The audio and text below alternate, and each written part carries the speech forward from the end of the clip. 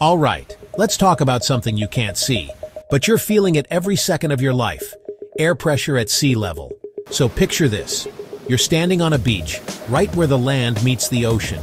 There's a massive, invisible ocean of air, stretching all the way up to space. And that air? It's not weightless.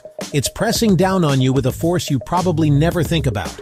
At sea level, the air pressure is about 101,325 pascals. Let's break that down. Every single square meter of surface, top of your head, your shoulders, gets hit with about 10 metric tons of air.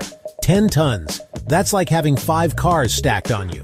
But why don't you feel crushed? Your body pushes back with the same pressure from the inside so it all balances out. Pretty cool design. Now how heavy is that air? A one meter cube of air at sea level weighs about 1.2 kilograms, almost three pounds. Sounds small, but multiply that by the whole atmosphere and it's a huge weight on Earth. Next time you're outside, take a second to appreciate the invisible blanket of air keeping everything in place. It's heavy. It's everywhere.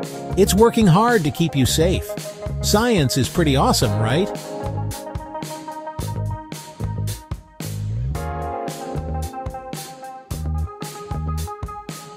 Hit follow for more fun facts you can drop at your next beach trip.